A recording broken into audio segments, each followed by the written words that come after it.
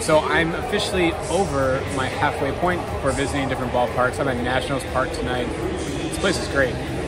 What I did was I got here early, some batting practice, tried to catch a home run. Uh, wasn't successful, but that's all right. But then after that, I walked around the entire ballpark, took photos, wrote notes about all the different food selections you can get. So I'm going to update that on my site. Now I'm going to enjoy the game. So I'm going to get something to eat and to watch the game. Here's my view.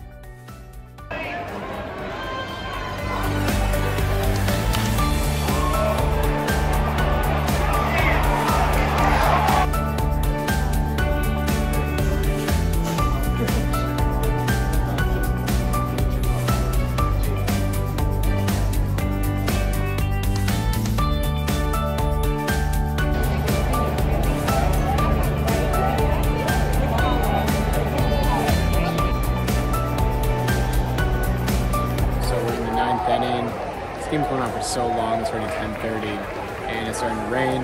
Here you can see. Anyway, it's been a long day, but I found a lot of information about different places you can eat at the ballpark. Took a lot of photos.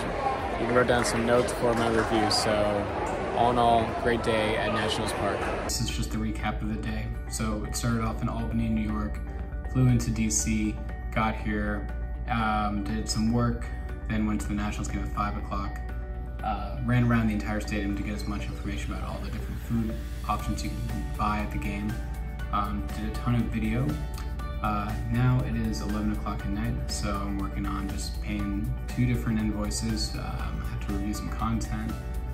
Basically have to, uh, you know, just kind of get things set up for now tomorrow. Uh, one thing I want to share, really nice if you want to check this out. This is the view of the hotel, so you can see it's kind of hard. Know there's a reflection, but you got the Capitol and Nationals Park right there. You got a lot of stuff going on. It's pretty cool. So, uh, as I almost fall over, um, basically this is it. This is just a recap of uh, of the trip. It was a short one, just one day to DC. Happy that the rain did not uh, ruin this game. So. Um, that's it. So stay, in, uh, stay tuned for the next video. And as always, have a good rest of your day.